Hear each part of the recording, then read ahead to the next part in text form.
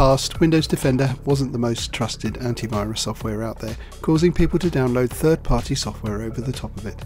Now that we're in 2019, Windows Defender has gone through a lot of changes over the years, and we're going to look at whether it's good enough to be the only antivirus you need on Windows 10. Hi, this is Phil from Make Tech Easier, and this is Is Windows Defender Actually Good Enough 2019? When it comes to antivirus software, Windows Defender is the natural choice. In fact, it's not so much a choice as the standard state of things, as it comes pre-packed with Windows 10. In previous Windows iterations, it was known as Microsoft Security Essentials. It's therefore tempting to just leave it as it is and say to yourself that things will probably be fine, right? But is Windows built-in tool enough, or do we still need to rely on the big guns of antivirus software to keep us safe online? How does Windows Defender compare?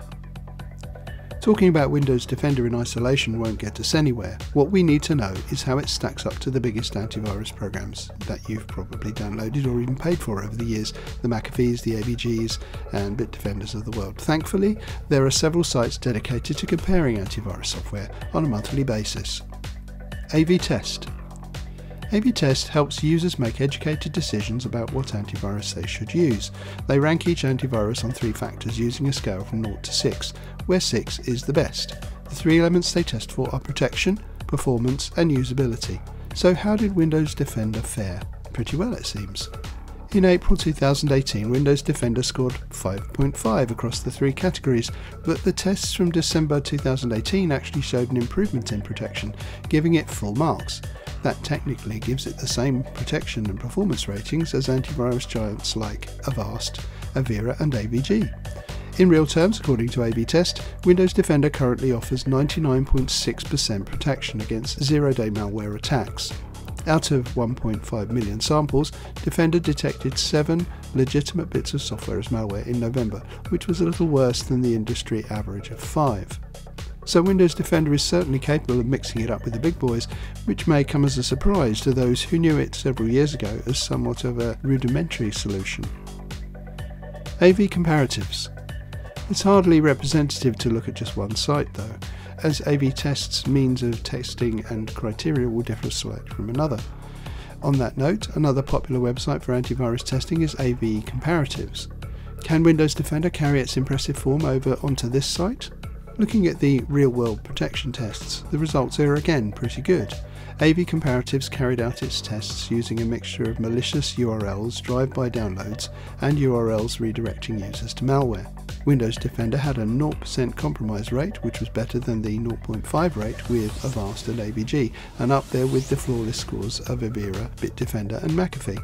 Compared with previous years, Windows Defender has drastically improved in blocking user-dependent malware, so malware where Windows gives a warning to the user but still gives the option of executing it. In April 2018, the rate of user-dependent malware was 3.6. In July through November 2018, this dropped down to an average of 0.8%. Where Windows Defender has slipped quite badly is in detecting false positives, where it now has by far the highest rate of all the major antivirus software out there. It clocked 106 false positives from July through November 2018, more than double that of the second worst AV in this regard. These two trends could be correlated. With an increase in false positives and a much better blocking of user dependent malware being the result of tighter security measures through Windows Defender. Of course, other software shows that you can score well in both these categories, so that's the next thing Microsoft should be aiming for cutting down false positives while maintaining high security. Small hiccups aside, historical data on both AV tests and AV comparatives shows a marked improvement in Windows Defender's performance over the years. Back in October 2015, Windows Defender received the joint lowest rating for protection, 3.5 out of 6, amounting to just 95% protection against zero-day malware attacks. This was an alarming 80.5% in September 2015. The industry average at the time was 97.2%, so Windows Defender was decidedly trailing the pack. At AV Comparatives, meanwhile, Window Defender had a 3% compromise rate from July through November 2016. That has been almost directly replaced by the possibility of user-dependent security compromises in 2018, which still isn't perfect, but a huge improvement. Conclusion The verdict? A sturdy defence.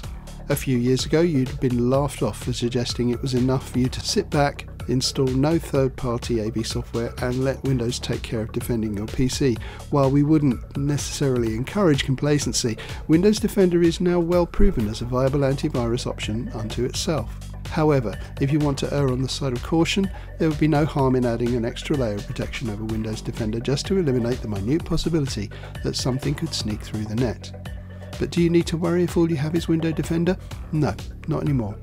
However, the malware landscape is always shifting, and we'll keep an eye out for the developments that suggest otherwise.